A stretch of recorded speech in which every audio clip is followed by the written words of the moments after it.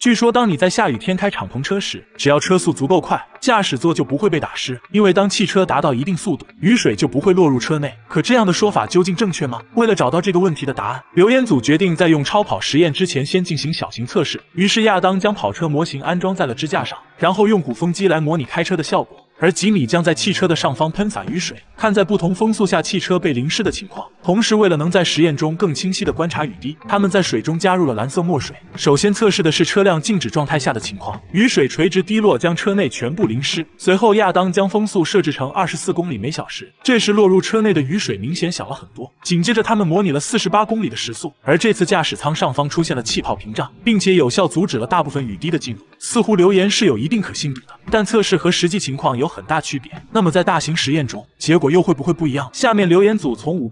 买来一辆二手超跑，并决定用它进行大规模测试，但在潮湿路面飙车可能会造成轮胎抓地力下降，而为避免出现车毁人亡的惨象，留言组邀请了专业教练进行车技培训，以便应对可能发生的失控情况。由于两人都是名副其实的老司机，所以在经过短暂的训练之后，他们都能熟练控制跑车，完成各种动作。为了准确对比不同速度下落入车内雨量的多少，吉米将卫生纸贴在深色的底板上，一旦有雨水滴在上面，就会显示底板的颜色，这样就能判断车内淋雨的情况了。接下来，他们来到了实验场地。可极速行驶的敞篷车真能避开雨水吗？据说，只要敞篷车的速度足够快，落下的雨水就不会弄湿车内。可这样的说法真的正确吗？为此，留言组在五。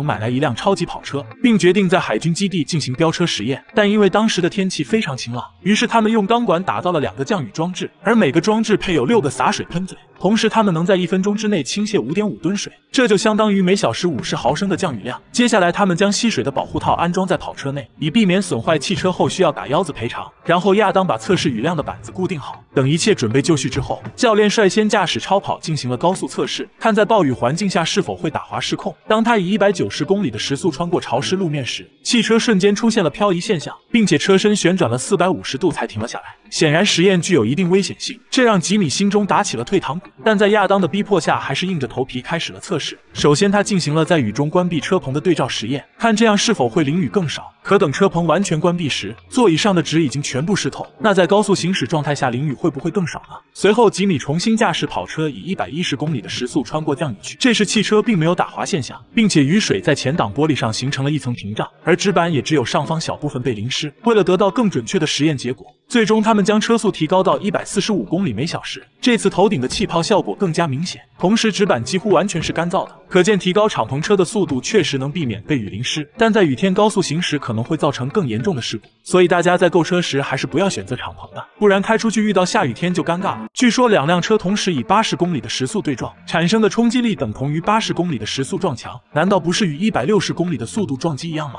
为了验证到底哪种说法才是正确的，刘彦祖向好朋友借来了新买的豪华汽车。并决定用它进行撞车实验，但在这之前，他们需要进行模拟测试，看一倍速度对撞是否与两倍速度撞墙的效果相同。于是亚当找来一段两吨重的钢柱充当墙体，然后将两个砝码焊接在钟摆上来扮演汽车。为了直观量化撞击力的大小，他们在砝码中间放置了橡皮泥。实验中，他们会将砝码从一倍高度释放撞击铁柱，以此来模拟汽车以八十公里的时速撞墙；而将释放高度提高至两倍时，就能模拟一百六十公里时速撞墙的情况。通过对比橡皮泥的压缩量，就能判断撞击力的大小。就砝码以一倍速度撞击铁柱时，亚当测的橡皮泥的厚度还剩下三点八厘米。紧接着，他们又让砝码从两倍高度释放，这次橡皮泥几乎被压成了薄饼，并且测得厚度只有一点九厘米，而这刚好是一倍速度时的两倍压缩量。之后，他们将铁柱换成相同的砝码，看让他们以一倍速度。相互撞击效果是否与两倍速度撞墙相同？可当亚当剪断释放的绳索，两侧的橡皮泥的压缩量竟然和一倍速度撞墙一致。显然，这个结果是有违大部分人的预想。那如果换成真车撞击，实验结果又会不会改变呢？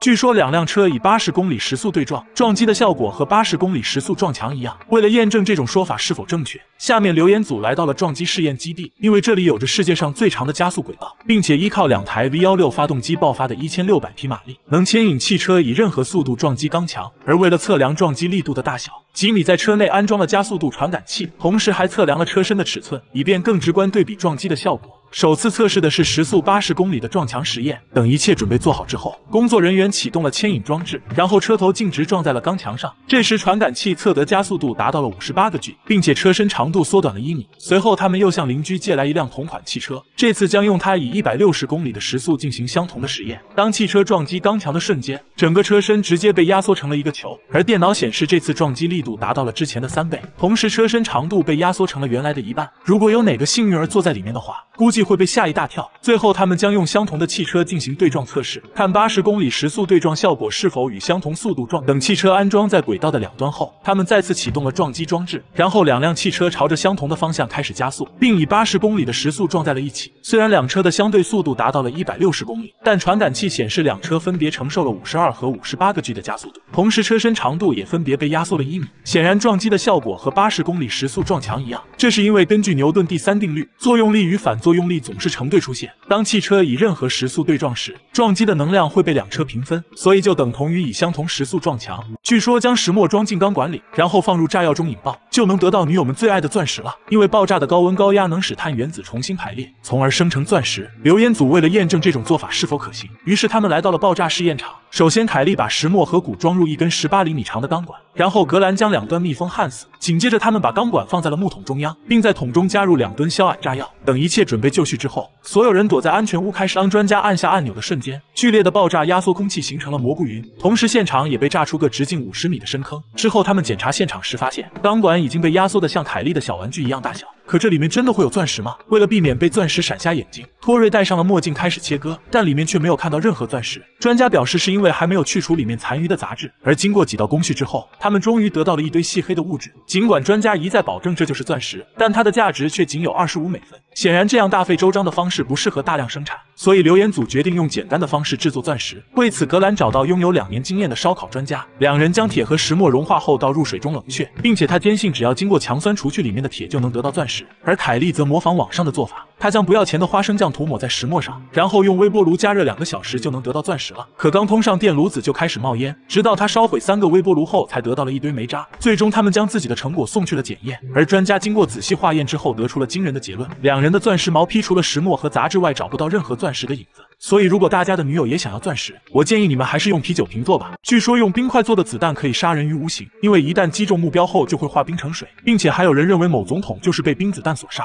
为了验证这个说法的真实性，刘烟组决定打造一枚冰冻子弹。于是他们在学校旁的小卖部找到了同款步枪，然后吉米通过对子弹结构的研究，用金属制作出了冰冻弹头的浇筑模具。随后他将清水倒入模具中，并泡在液氮里进行冰冻。等完全凝固之后，冰子弹就做好了。但在脱模时，他们却出现了翻车。显然，制作冰子弹并没有想象中容易。之后，他们请教了枪械专家，并且专家表示用肉做成的子弹同样能杀人于无形。于是，他们将牛肉塞入模具中并进行冰冻，最终完美制作出了一颗肉弹。而由于找不到志愿者测试肉弹的杀伤力，留言组只能请出了假人老兄。但当他们扣动扳机时，假人并没有出现任何损伤，反而被喷了一身的火药残渣。为了继续研究冰子弹的杀伤效果，留言组重新改变了子弹的制作方式。托瑞用硅胶代替原来的金属模具，并且使用子弹进行倒模。等加水之后再插入弹壳，这样冰冻二十四小时的子弹就不会出现断裂。可它究竟会有多大的杀伤力呢？然而随着一声枪响，这次的实验结果竟然和上次一样，因为冰弹头在发射的瞬间就融化蒸发了，所以开枪的效果就和空包弹一样。据说只要舍得踩油门，汽车就能轻松飘过三十米宽的湖面，并且电影中也有过这样的情节。为此，留言组向邻居借来了全新超跑，并决定瞒着邻居在湖面进行打水漂实验。但由于没人愿意尝试当志愿者，格兰给跑车安装了遥控装置，同时凯莉还在湖边堆出一个小斜坡，这样就能让汽车在打水漂时有个向上的升力。一切准备就绪之后，格兰操控汽车以电影相同的八十公里时速冲向湖面。可汽车真能像石头一样飘过去吗？尽管有斜坡的助攻，但汽车刚起飞就直接栽进了水中，然后接连旋转了三百六十度后砸在岸边。格兰认为一定是哪个环节出了问题，于是他们用等比例的模型车进行了小型测试，并通过多次调整后，他们发现当取消斜坡之后，模型车能更好的在水面飘起来。而如果将时速提高到一百二十公里，汽车竟然成功掠过了水槽。有了数据支撑之后，他们再次弄来了一辆超跑，并且为了让车速更快，杰西给发动机安装了氮气加速系统，同时还在底盘下增加了护板，以便在实验中减少与水面的阻力。等拆除起飞的坡道之后，格兰再次遥控汽车开始实验。就在实验马上揭晓答案的时候，只要点击评论区置顶链接，就有机会抢到两千零二十三元高温津贴，现金直接到账钱包。很多粉丝都表示抢到了，大家快去试试吧！这次又能否成功越过湖面呢？随着油门的逐渐加大，汽车很快被加速到一百二十公里的时速，然后一路横冲直撞，成功掠过了三十米的水面。而通过高速相机可以清楚的看到，汽车在经过两次水漂之后，稳稳的到达了对岸。显然，只要速度足够快，汽车确实能像石头一样飘过水面。这是因为汽车在下压水面的同时，也会受到水面的反作用力，从而使汽车不断上下漂移。